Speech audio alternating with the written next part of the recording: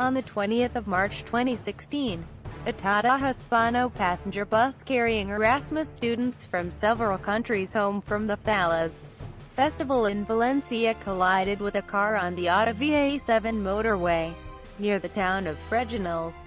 Thirteen were killed. Question mark. All of them young female students.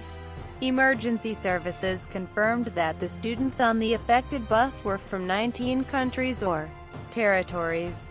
France, the Netherlands, Finland, Hungary, Germany, Sweden, Norway, Switzerland, the Czech Republic, New Zealand, Great Britain, Italy, Peru, Bulgaria, Poland, Ireland, the Palestinian territories, Japan and Ukraine.